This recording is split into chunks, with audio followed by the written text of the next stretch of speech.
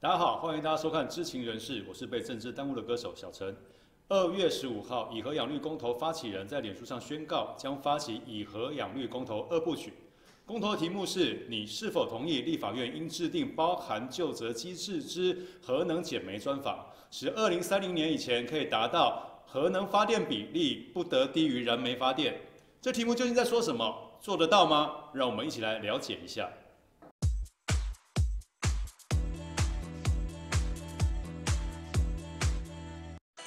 在讨论此项公投的可执行性之前呢，我们必须先来确认事实基础，才能知道在没有任何数字描述的提案文字下，究竟是希望能够透过公投达成什么样的目标。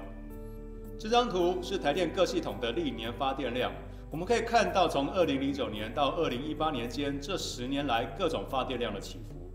其中燃煤发电的占比大约在三十五到四十三之间，核能发电的占比约在九到二十帕之间。以最新二零一八年的资料来看，燃煤发电的占比是三十八点八趴，核能发电的占比则是十一点四趴。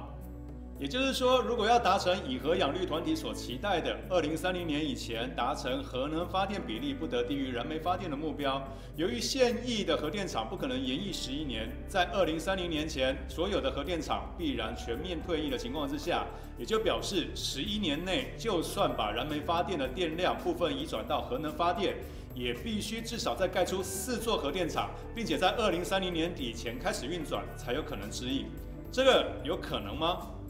我们先回顾台湾核电厂的设置历史。核一厂位于新北市石门区，从一九七一年核准新建，一九七八年启用，中间花了八年的时间。核二厂、核三厂从核准新建到启用，也都花了七年的时间。以时程来看，就算现在已经有四个可以马上建厂的位置。不包含事前的准备时间，而且四座核电厂同时新建，最快也要二零二六年才能够完成。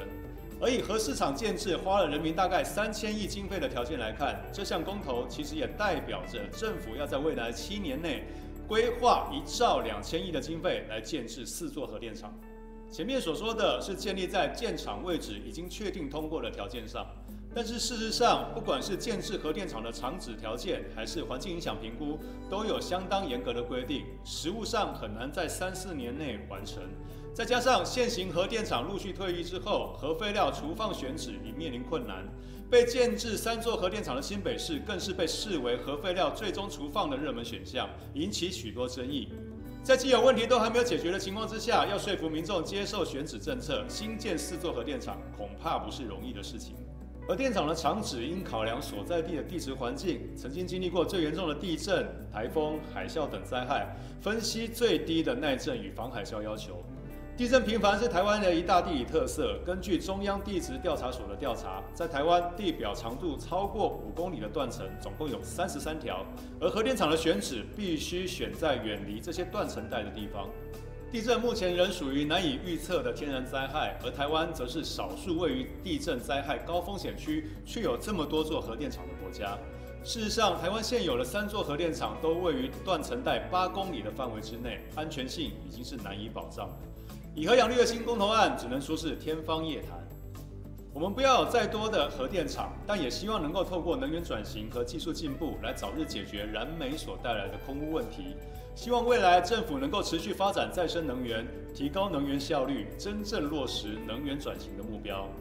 好，以上是我们对于这个议题的整理跟分析，希望大家对这个议题有更深入的了解。那其实还有很多需要大家共同来关心的重要议题，我们会用同样的方式整理更多相关的资讯给大家。如果大家喜欢我们这样的谈话方式的话，欢迎帮我们按赞跟分享。如果还没订阅的，记得订阅一下哦。